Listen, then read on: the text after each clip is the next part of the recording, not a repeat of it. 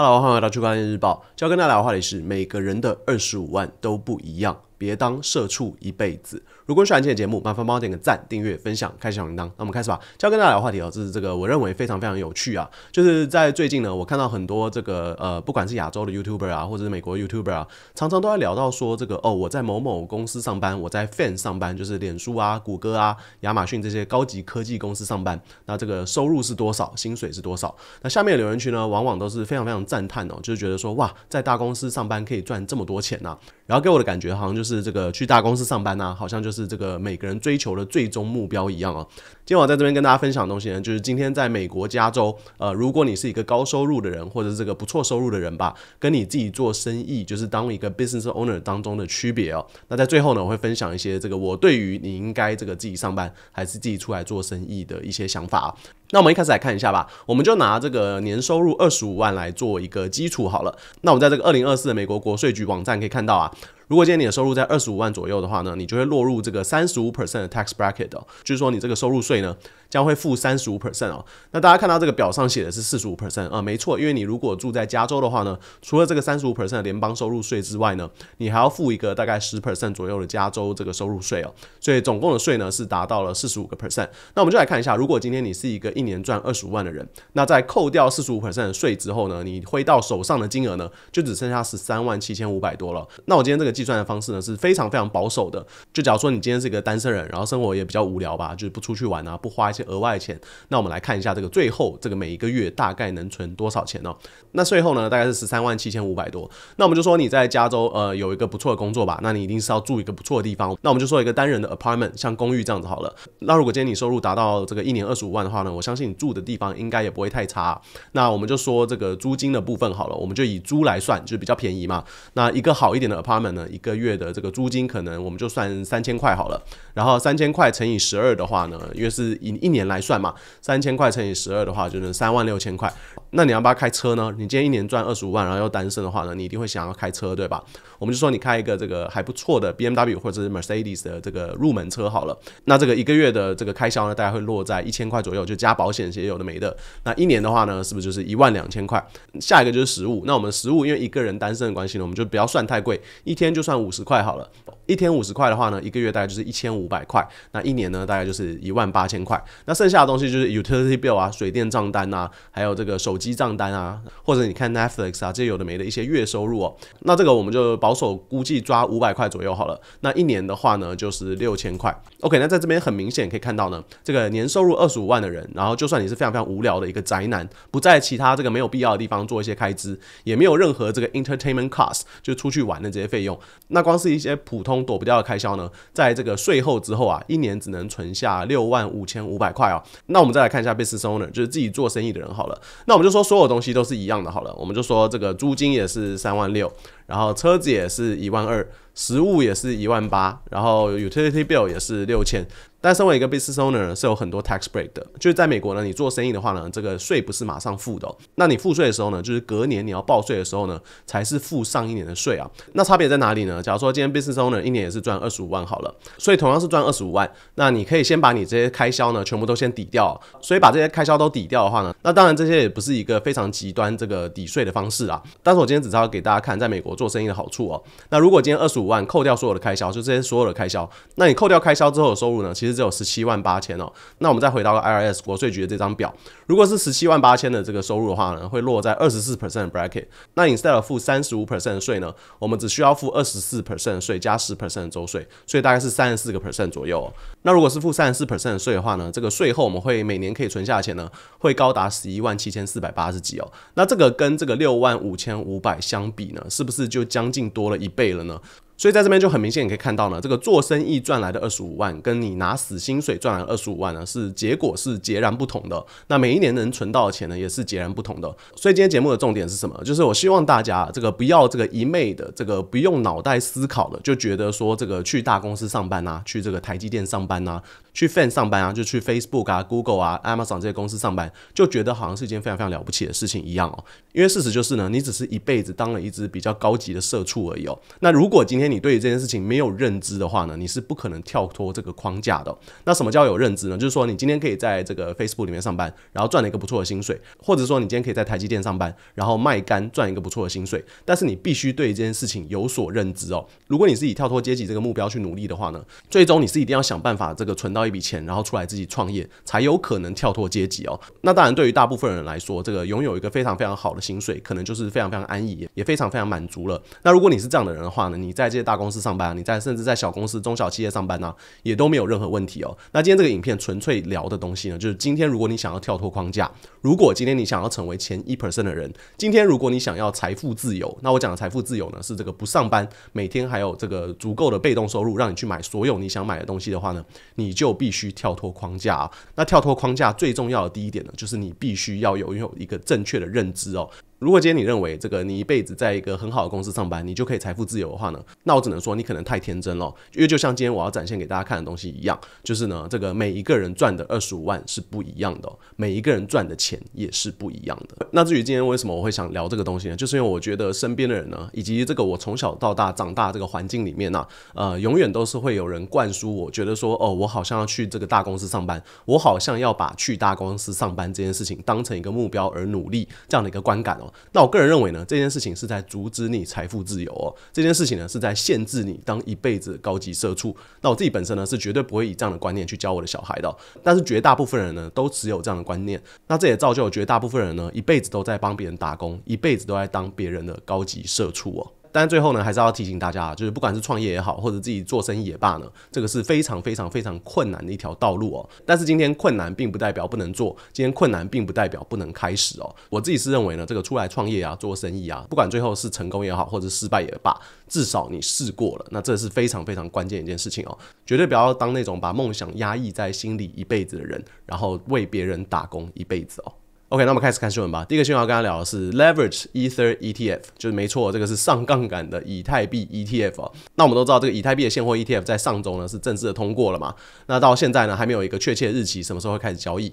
但是同时呢，这边已经出现了一只这个上杠杆的以太币 ETF 了。那这只上杠杆的以太币 ETF 呢，将会在六月四号就开始交易哦。那这只上杠杆的以太币 ETF 呢，看起来应该会是以这个期货的方式来交易啊，所以你可以说是一个上杠杆的以太币 ETP 吧。那在这边就可以看到了，在这个华尔街啊，还有这个股票交易市场啊，基本上就是一个公开的赌场啊。那关于这个观点呢，我在过去的影片当中呢，跟大家聊到非常非常多次哦。就是今天交易市场，今天投资市场呢，就是一个公开的赌场哦。所以今天如果你进到这个赌场里面的时候，持有一个这个不好的心态，或者是完全没有策略的话呢，你就绝对会是那个十赌九输的人哦。因为事实就是股票市场呢，就是一个非常非常大的公开赌场哦。那在这边也可以看到啊，如果今天有赌徒要赌的话呢，那这个庄家呢是一定会推出这个你想要买的产品哦。那现在可以看到以太币现货 ETF 已经通过了嘛？那马上接踵而来呢，就是以太币的上杠杆的 ETF。也出现在市场里面哦。那关于上杠杆的以太币 ETF 呢，其实大家不需要感到意外，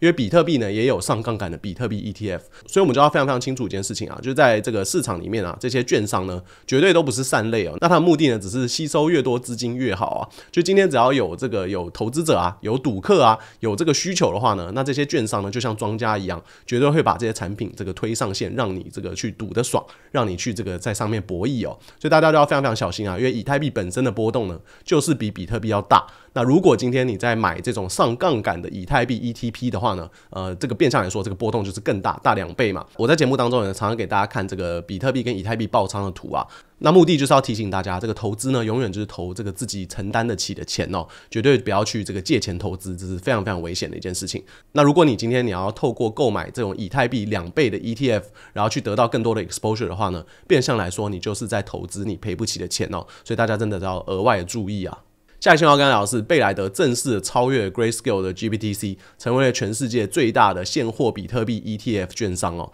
那往下看到更多细节啊，这个贝莱德在昨天呢，再次迎来了一百零二 million 的流入啊。那同时 GBTC 在昨天呢，再次流出了一百零五个 million 啊。那在昨天的这个交易日结束之后呢，贝莱德就正式的成为这个比特币现货 ETF 持仓最大的一家券商哦。那在这边呢，再次可以看到贝莱德的影响力跟贝莱德的威力啊。就是我们都知道，这个贝莱德进入到比特币的世界里面。呢，其实只有短短不到半年的时间哦。那比特币的现货 ETF 自从一月十一号开始上线之后到现在呢，其实也就大概短短的四个半月的时间。那这个贝莱德呢，在短短四个半月的时间呢，这个持仓就已经超过了 GPTC 了。那灰度的这个 GPTC 呢，存在在市场上呢，已经好几年了。那我们往下可以看到这张图，就是贝莱德 IB 这支比特币现货 ETF 的持仓是绿色这条线，那红色这条线呢是 GPTC 的持仓哦。那自从这个比特币现货 ETF 上线以来呢，贝莱德持仓就是持续在增加，GPTC 的持仓呢就是持续的在减少。那在今天呢，这个产生了一个死亡交叉，你可以说是黄金交叉吧，就是 IB 这个持仓呢正式超越 GPTC。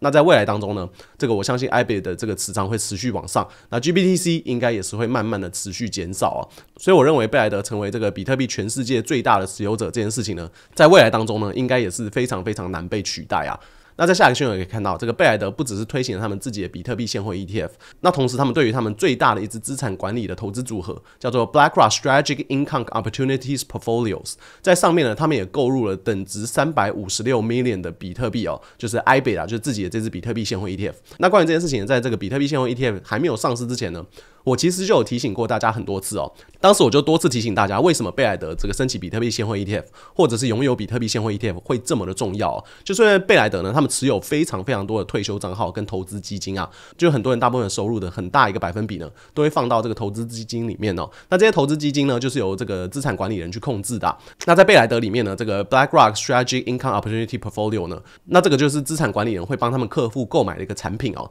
那现在可以看到呢，他们逐渐已经在增加他们 IB 的仓位哦，就是这个比特币现货 ETF 的仓位啊，那这个仓位在接下来未来里面呢，我相信只会持续的增加。变相你可以说，今天你可能完全不知道比特币是什么，但是你有收入入跟这个资产管理的账号在贝莱德上面的话呢，变相来说呢，他们的 Portfolio Manager 就会帮你直接购买到 IB 的，就是会得到一些比特币的 exposure 啊。所以很有可能在这个大部分人都不知道这个比特币的情况下呢，但是他们在退休账号上或者他们的这个收入账号上呢，他们就不知不觉都有持有比特币哦。那这也是为什么贝莱德比特币现货 ETF 这么重要一个原因。那也或许你可以说这个 Fidelity 的比特币现货 ETF 这么重要的原因，因为贝莱德跟 Fidelity 呢都是在美国退休账号啊，还有收入账号啊，非常非常多人都把大量的百分比呢放在这些投资组合上面哦。然后我相信这些事情呢会在接下来大牛市呢产生一个这个非常非常爆炸性的效益哦。下一新闻要跟大家聊的是，这个冥币超越了 Cardano，成为了这个前十大的加密货币哦。那这则新闻报道的时候，他说这个 Shiba Inu 这个柴犬币呢，已经超越了 Cardano，成为了全世界第十大的加密货币哦。那我们去 Coin Market Cap 看一下吧。那目前呢，这个 Cardano 还是处在第九名啊，所以可能是稍早的时候被 flip 一下下吧。那现在这个 Shiba Inu 就柴犬币呢是在第十名，那第十一名呢是 Toncoin 哦，所以 Toncoin 很快的进到前十之后呢，呃，又以很快速度这个跌落下来了。那我在这边希望大家注意的东西呢，就是在加密货币的市场里面呢，这个是变化非常非常的快啊。那我个人为什么这么喜欢 Cardano 跟看好 ADA 的原因呢？就是因为 Cardano ADA 呢是经历过多次牛熊测试的一个币哦，就是自从二零一七年 Cardano 上线以来呢，这个 Cardano 在这个前十大市值的加密货币的这个排行榜里面呢，基本上已经维持了大概七年左右的时间哦，所以。是非常非常长的。那这个是什么样的概念呢？我稍微很快 go over 这个前十大加密货币给大家看一下，大家可能就会有一些概念哦。那我先去十二名的 Avalanche，Avalanche 曾经有上过前十的加密货币，Chainlink 有曾经上过前十的加密货币，Polkadot 有上过前十的加密货币，Tron 有上过前十的加密货币，Bitcoin Cash 曾经是第三名的加密货币，Polygon 在上轮牛市的时候是前十的加密货币，Uniswap 有成为前十的加密货币。Litecoin 曾经是前十的加密货币，Ethereum Classic 曾经是前十的加密货币，所以看到这边，大家有没有注意到一个端倪呢？就是所有这些目前排名在第十名到第三十名之间的这些项目呢，很多在过去的历史当中呢，都有进到前十名的加密货币哦。但重点是什么呢？就是他们没有在前十的加密货币上待太久哦。那现在这个在前十的加密货币里面呢，只有比特币跟以太币还有卡拉诺是在前十大市值的加密货币超过五年的项目哦。那其他的项目都是比较新的，像 BNB 啊、Solana，然后这个狗狗币也是这个二零二一年才进到前十的。那这个柴犬币更加不用说，就更新一点了。所以这个就回归到你今天投资的初衷是什么东西，以及你是怎么样一个投资者。哦那像我的话呢，我不是一个耐投资者，就我不喜欢这个散弹枪乱打这样的感觉。我喜欢把我的炮火都集中在这个同一个项目上啊。所以我今天可以很直接告诉你，我可以很舒服的把超过三十 percent、四十 percent、五十 percent 的 portfolio 放在 Cardano ADA 上面。但是今天我有信心把三十 percent 的投资组合放在一个冥币上，或者是放在 Solana 或者是 Ton 这样的一个极度中心化项目上嘛，我是完全不可能做这样的事情哦。所以今天就要看你今天的投资 style 是怎么样子。然后我相信我在节目当中应该已经分享过无数次为什么我这么看好 Cardano ADA 的原因了吧？但是我做我的事并不应该影响你的投资决策。如果你觉得这个 Solana 是比较有前景的，Solana 这个比较多人炒，Solana 比较多人聊的话呢，那你投资 Solana 是没有任何问题的。那又或是说你今天想要全部 YOLO 在狗狗币上，或者是这个柴犬币上，那我也不会阻止你哦。那我也希望你在这上面可以赚大钱哦。但是我绝对不会因为你投资的项目跟我投资的项目不一样，然后我去攻击你的投资项目，然后说你的投资项目是垃圾，说你的投资决策是错的。这件事情是非常非常幼稚又没有任何意义的一件事情哦。下一个要跟大家讲的是 PayPal 的 PYUSD 啊，正式进入到了 Solana 链上啊。那对于这件事情，为什么 PYUSD 会选择 Solana 呢？那这个我就不知道，可能是 Solana 最近比较多人聊，可能是 Solana 非常非常火热，可能是 Solana 这条链有非常非常多人用的关系，所以这个 PYUSD 呢就选择了这个进入到 Solana 生态上面。那这个事情呢，对于 Solana 来讲呢，绝对是一百 percent 好消息啊，因为 PYUSD 呢毕竟是由全世界最大的 FinTech 公司 PayPal 推出出来的嘛。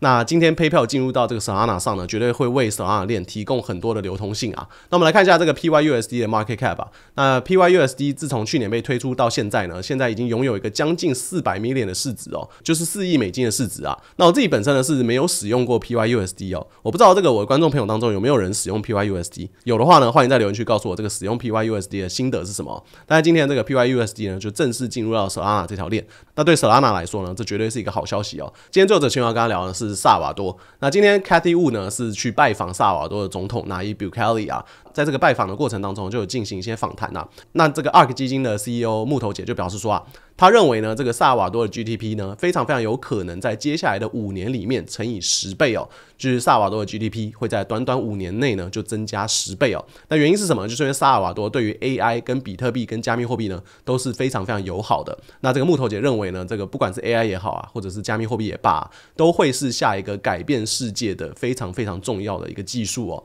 那我们在下面可以看到这个木头姐跟萨瓦多总统拿伊比克里的合照啊，在这边呢就是要再次赞叹这个拥有一个这个强而有力领导者是会改变你国家的命运哦。那萨瓦多的这个总统拿伊比卡里就是非常非常好的一个例子啊。那虽然说萨瓦多现在还是这个全世界比较落后，然后比较贫穷的一个国家，但并不代表说这件事情没有遭受到改变哦。因为萨瓦多是全世界第一个把比特币变成合法交易货币的国家，那变相来说，他们总统还有他们政策的前瞻性呢是非常非常好的。那如果也可以比别人这个先接受 AI 技术或者是布局 AI 技术的话呢，萨瓦多就很有可能在接下来的五年到十年成为一个非常非常繁华的国家啊。那今天新闻就跟大家聊到这边啊。如果你喜欢今天节目，麻烦帮我点个赞、订阅、分享。开启小铃铛，那我们明天见啦，拜拜。